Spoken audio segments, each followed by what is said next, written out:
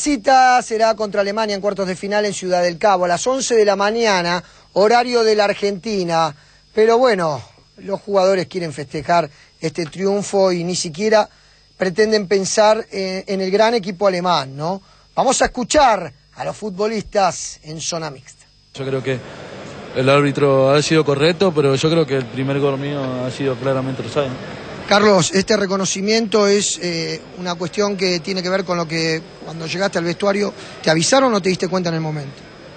No, cuando pasan la repetición, Ahí venimos. claro, claro, cuando pasan la repetición. Pasa que yo estoy de espalda al arco, cuando me lío, le tira el sombrero al arquero, yo estoy de espalda, entonces cuando yo viene la pelota, yo me pongo de frente así, cabeceo.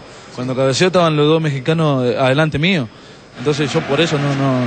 ¿Levantaste la cabeza cuando fueron todos los mexicanos contra el juez de línea? Claro, claro, ahí en el- sí, en un momento lo miro a línea antes de salir a correr, pero en ningún momento estaba dudando que estaba, no sé yo. Bueno, ¿qué le decís a los argentinos, a tus amigos que seguro que están en el monumento de la bandera, ¿sí? No, que como dije recién, no, feliz porque, porque creo que está muy ilusionada la gente, está disfrutando. Nosotros hoy le dimos otra victoria más y ojalá contra Alemania sea igual. Al principio del partido, los primeros 20 minutos y después una parte del complemento, cuando México hizo el gol, fue las únicas veces que eh, Argentina no controló el partido. ¿Coincidís? Sí, ellos empezaron como siempre, queriendo jugar al fútbol, teniendo la, la pelota, no cambiaron el estilo de ellos. Nosotros aprovechamos la oportunidad, hicimos los goles y, y cambió todo. Y, hoy, ahora se viene Alemania, ¿no?